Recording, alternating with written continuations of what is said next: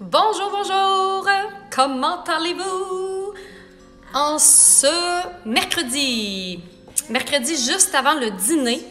Alors, euh, vous savez peut-être que j'ai un live justement sur ma page Facebook à midi pour qu'on puisse magasiner ensemble.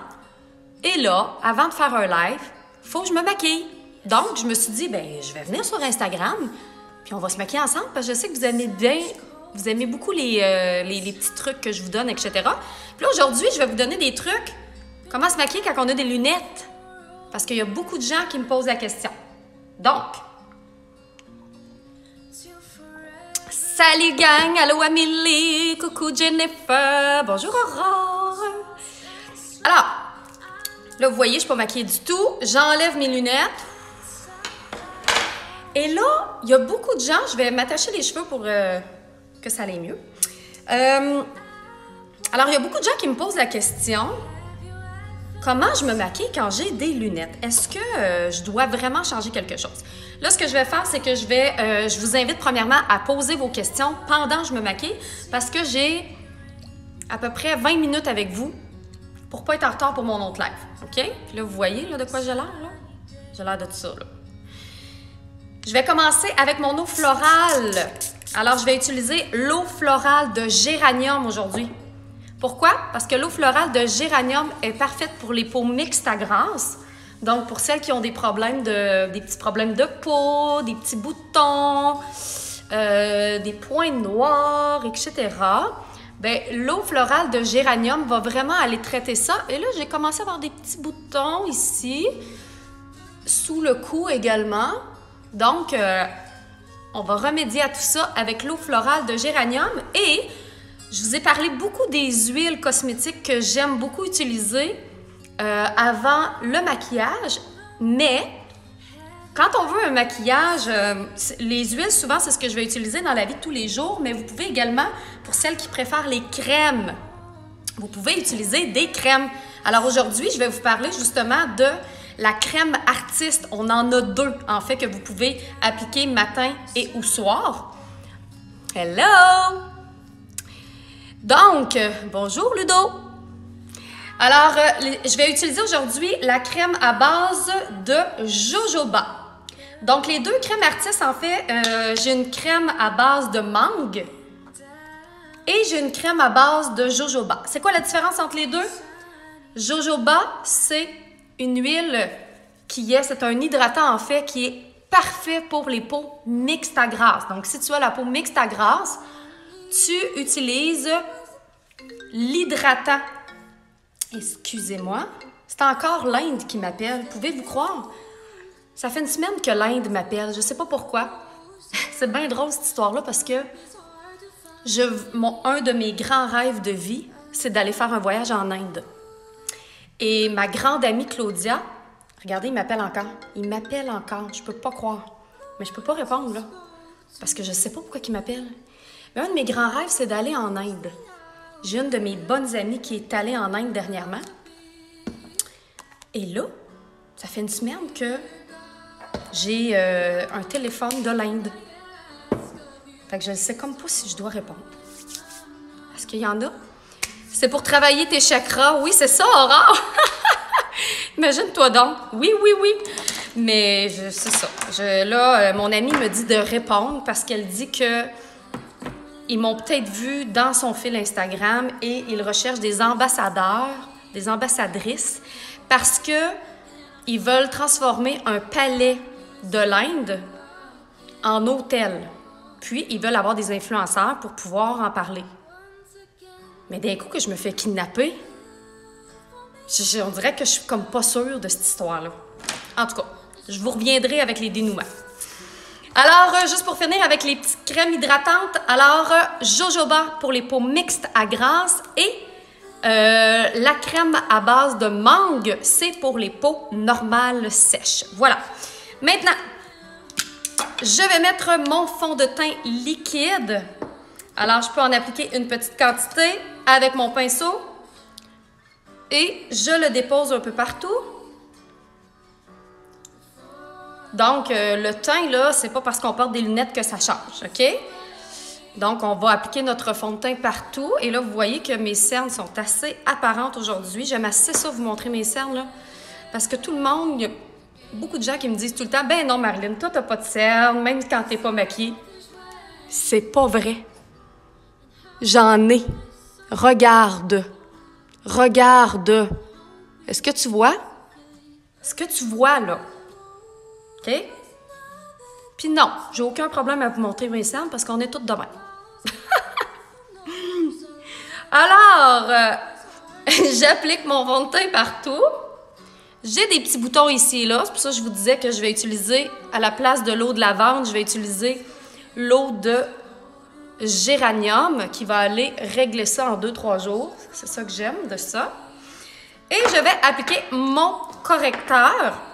Alors aujourd'hui, je vais utiliser le correcteur de Makeup Forever qu'on a également à la boutique. Hein. Vous savez qu'on est distributeur officiel de la ligne de maquillage Makeup Forever. On est seulement trois, mis à part les Sephora, on est trois au Canada.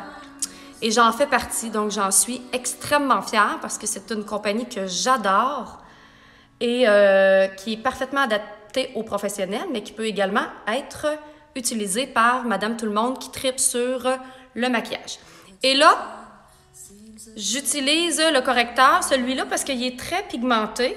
Alors, on n'a pas besoin de beaucoup. Je n'ai peut-être trop mis déjà. La différence avec les correcteurs artistes, il y en a souvent qui me posent la question. Les correcteurs artistes sont très, très fluides, sont très légers, sont idéaux pour les personnes qui ont euh, rides, ridules sous les yeux et qui ont, euh, qui ont le problème que le correcteur entre dans les petites rides et ridules. Et celui-là, il est plus, euh, pigmenté, plus épais. Donc, quand on a des cernes aussi apparents que ceux que je viens de vous montrer, ben c'est intéressant d'utiliser. Je l'utilise pas tout le temps. Je l'utilise vraiment quand des périodes de l'année comme ça, là, où est-ce qu'on commence à perdre notre petit hâle d'été, où est-ce que notre peau commence à se déshydrater à cause du chauffage. Toutes ces petites histoires-là là, qui fait qu'on commence à avoir un petit problème de peau. Donc, voilà. Hein, déjà là, c'est mieux. Là, j'ai l'air blanche. Rappelez-vous, quand on termine le maquillage du teint, c'est-à-dire quand on est rendu, on a mis le correcteur, on a mis le fond de teint, on a toujours l'impression d'être blême. C'est normal parce que les correcteurs, excusez-moi, les correcteurs et le fond de teint sont là pour unifier le tout. Voilà. Et là, aujourd'hui, euh, j'ai l'idée de travailler avec la palette Love. Pourquoi la palette Love? Parce que, vous avez vu mon beau chandail? Regardez s'il est beau! On dirait des plumes, on dirait... Euh, je l'aime assez, là. Je suis allée euh, au Zara.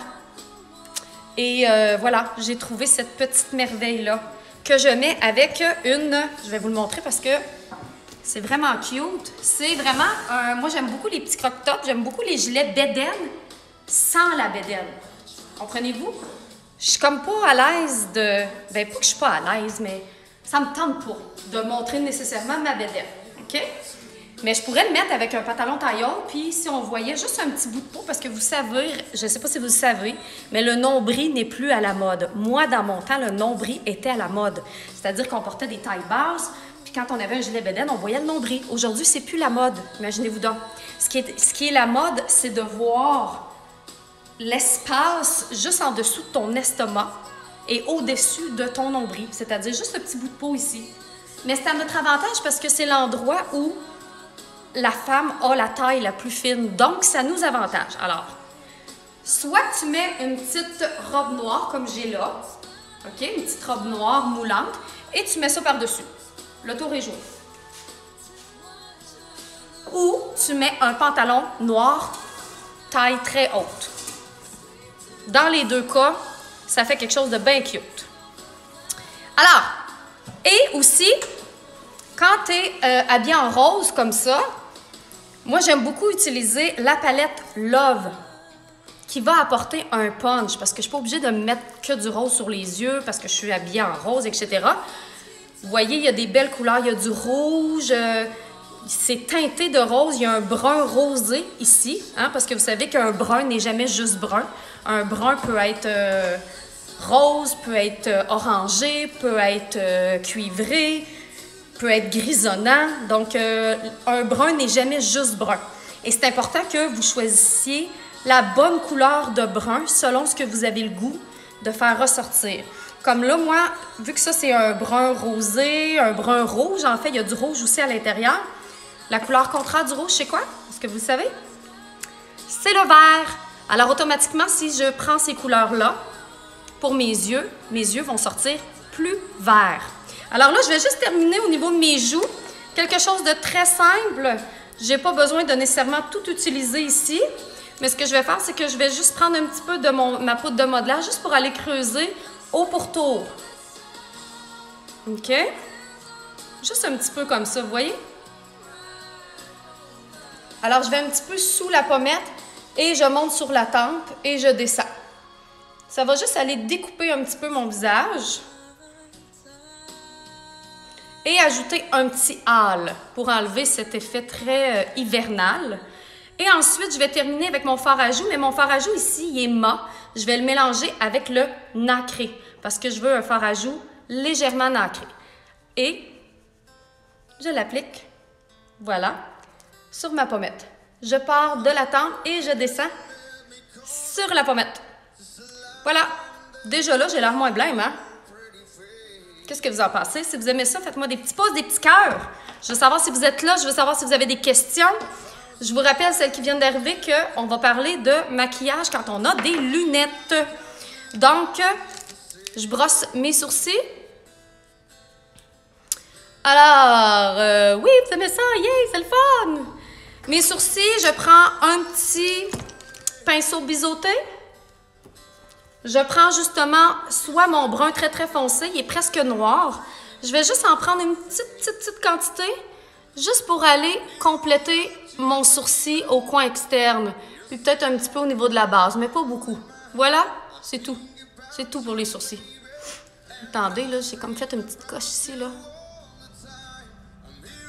Coucou, Firmène! Comment tu vas, ma belle Firmène? Firmène, il faut qu'on se reparle de plein d'affaires, là.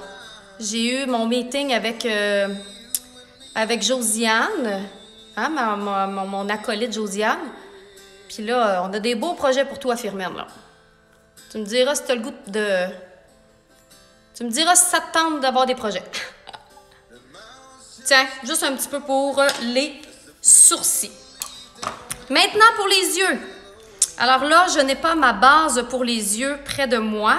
Sachez que c'est important d'avoir une base pour les yeux. Puisque j'en ai pas, je vais prendre mon correcteur juste pour avoir une base un peu plus collante pour m'assurer que mon maquillage tienne toute la journée. Et là, avec cette palette-là, des fois, cette palette-là, quand les gens la voient, elle fait peur.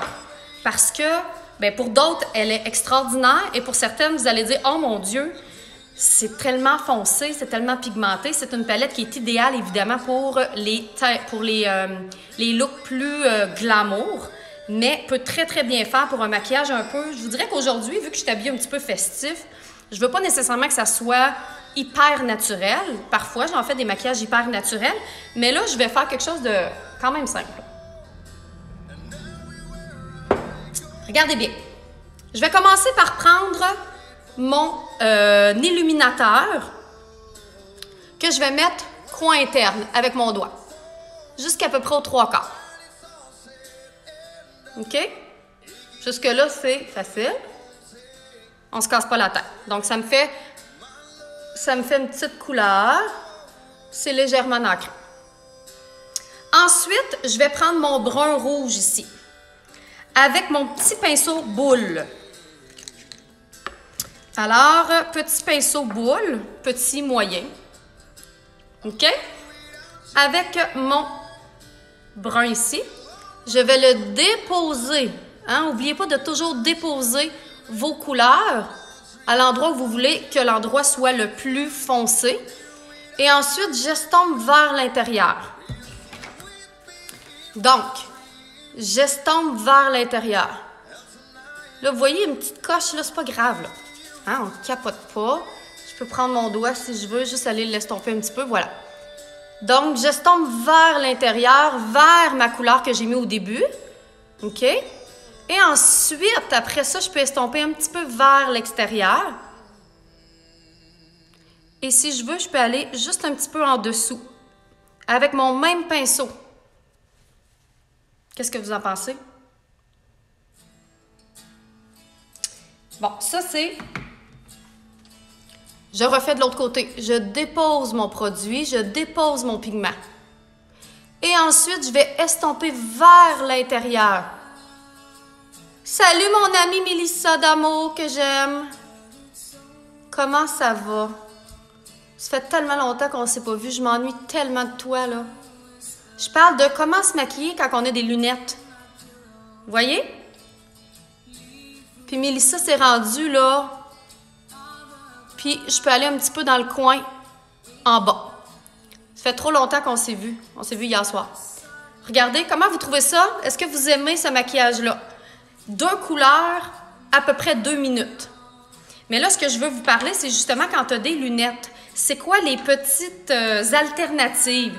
Alors, je vous montre mes super lunettes, que là, on voit rien parce qu'il y a des verres, puis il y a beaucoup trop de reflets dans ma fenêtre. Je vais mettre mes autres lunettes magiques. Ah! Il n'y a plus de... Il a plus de reflets. Bon. C'est des lunettes magiques. Mais là, je vais vous donner les petits trucs. Quand on a des lunettes, à quoi faut penser?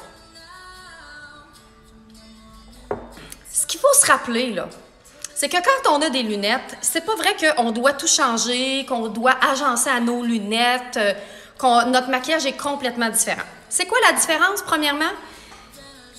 C'est qu'il faut savoir si on a de la force pour voir de loin. Ah, ben merci, euh, Mélissa, tu trouves? C'est pas super, hein? Mais là, j'ai pas fini mon look avec mes belles plumes. En fait, ce qu'il faut se rappeler, c'est que quand on a des lunettes, premièrement, il faut savoir si c'est euh, dans le but de voir de loin ou de mieux voir de proche. Ça, ça fait une différence. L'autre différence quand on porte des lunettes, c'est il faut savoir si la force est très très grande parce qu'aujourd'hui, avec la nouvelle technologie des verres, OK? Avec la nouvelle technologie de verre pour les lunettes, il n'y a pratiquement pas de différence, c'est-à-dire que ça ne changera pas nécessairement la grosseur ou la forme de tes yeux. Salut ma belle Emma, rose d'amour. J'espère que tu vas bien. J'ai hâte de te voir, Emma. Ça fait longtemps qu'on ne s'est pas vu. Tu t'ennuies de ta ma tante make-up, hein? On va se voir bientôt, j'espère. Peut-être en fin de semaine. Peut-être en fin de semaine. Je ne sais pas si j'ai le droit de dire qu'est-ce qu'on va faire en fin de semaine, mais peut-être qu'on va se voir en fin de semaine. En tout cas. Et là, qu'est-ce qui va se passer, c'est que, advenant le cas que tu es très, très, très, très, très myope, c'est-à-dire comme Mélissa Normandin-Roberge, que pas de lunettes, elle ne peut pas mettre un pied devant l'autre. Si c'est le cas, que ça va faire, c'est que ça va rapetisser tes yeux un peu quand tu portes tes lunettes. Donc, à ce moment-là, ce que je te suggère, c'est d'aller souligner davantage le dessous de l'œil. C'est-à-dire, plutôt que d'aller juste un petit peu dans le coin externe, tu peux aller un petit peu plus loin dans le coin interne et faire un dégradé un peu plus large. Vous voyez comme ça, mais pas beaucoup, là. Comme ça. Pourquoi? Parce que puisque la lunette, en fait, le verre va donner l'effet que ton œil est plus petit, on va légèrement le tricher en allant le souligner davantage. Et ça va corriger l'effet d'un œil qui est plus petit.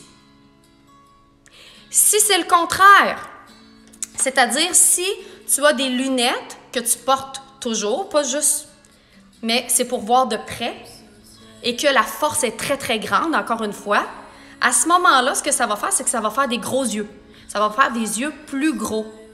Et là, qu'est-ce qu'il va falloir faire attention? C'est d'éviter d'avoir des yeux trop ronds, trop gros. Alors, ce que je vais vous suggérer, c'est de ne pas maquiller le dessous de l'œil, tout simplement.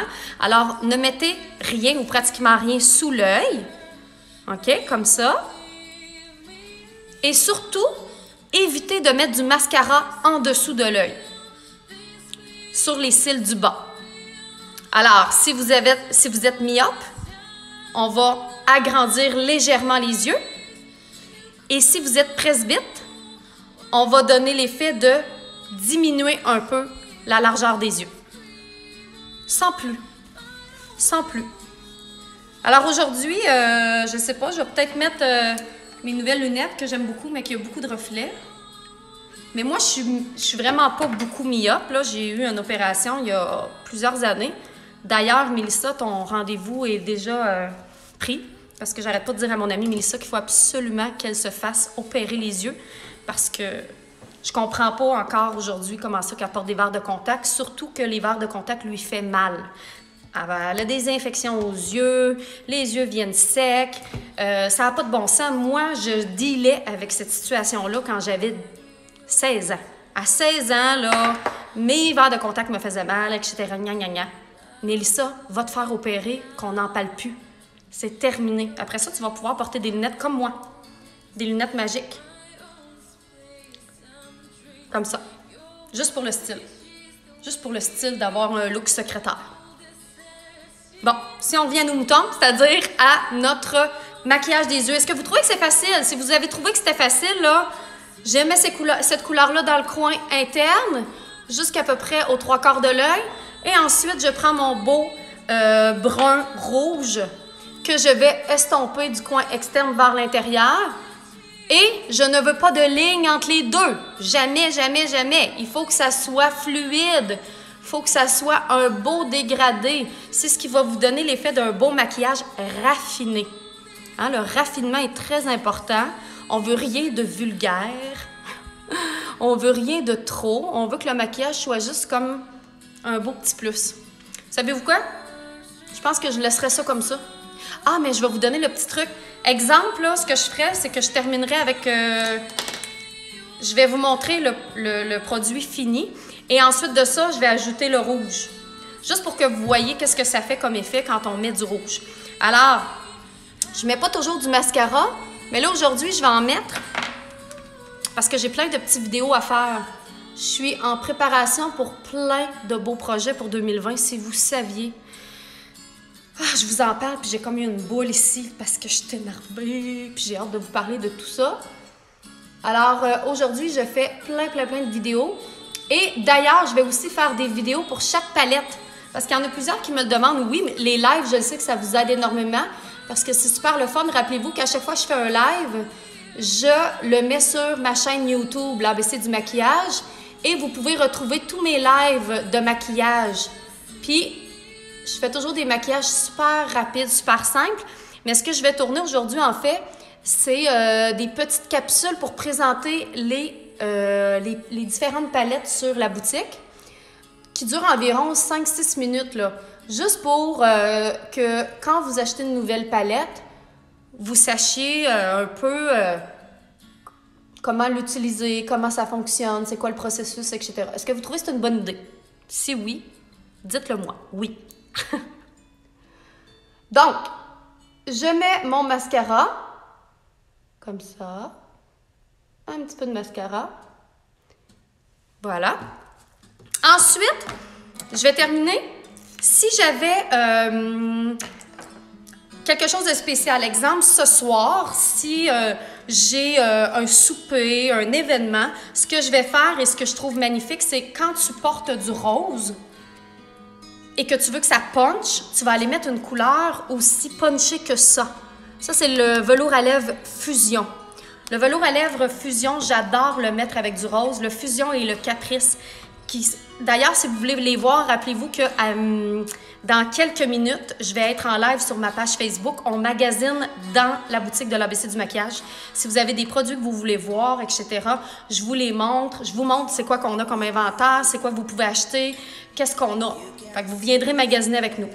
Mais là, pour aujourd'hui, cet après-midi, je vais tout simplement y aller avec mon ma laque à lèvres rêve. Comme ça.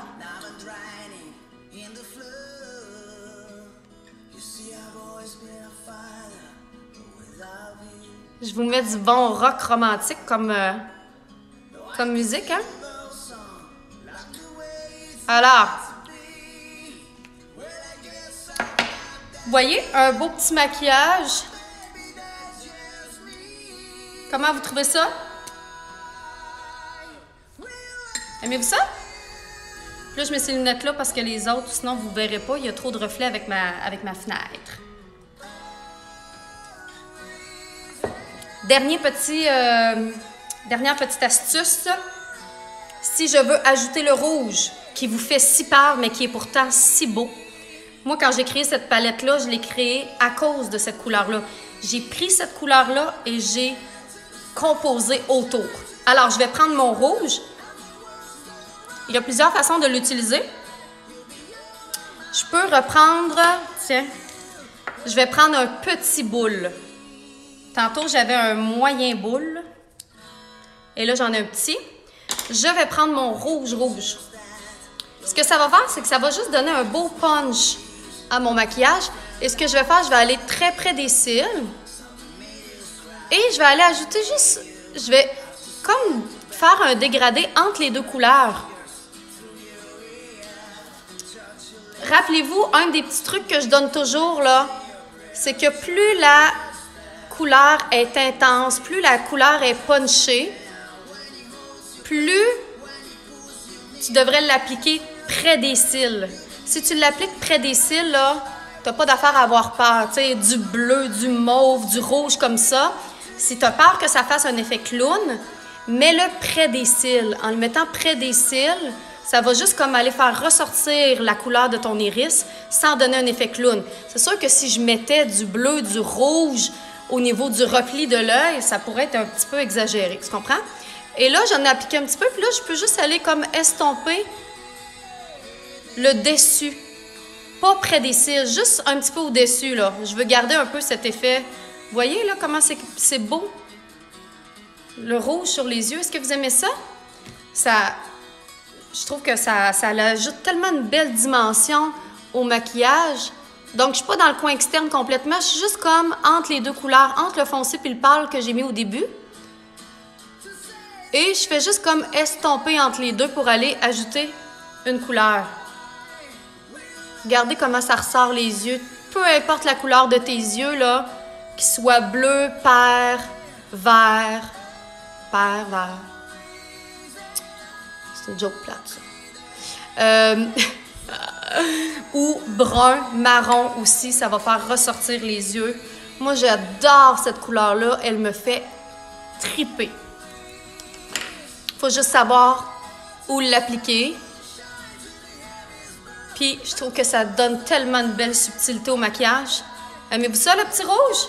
Et là, aujourd'hui, je vais garder l'idée que je veux un maquillage qui reste quand même soft, mais pour des maquillages hyper glamour aussi, là, si vous saviez comment ce rouge-là est extraordinaire. Aimez-vous ça? Aimez-vous mon look? Mon look du mercredi. Regardez, là, pour aller magasiner. Mon look du mercredi. Alors, hashtag Zara. Avec la palette Love de Artiste, ainsi que la lac à lèvres Rêve. Donc, euh, voilà, je m'en vais dans la boutique. Venez me rejoindre. On s'en va magasiner sur la page Facebook de Love et du maquillage. À tantôt!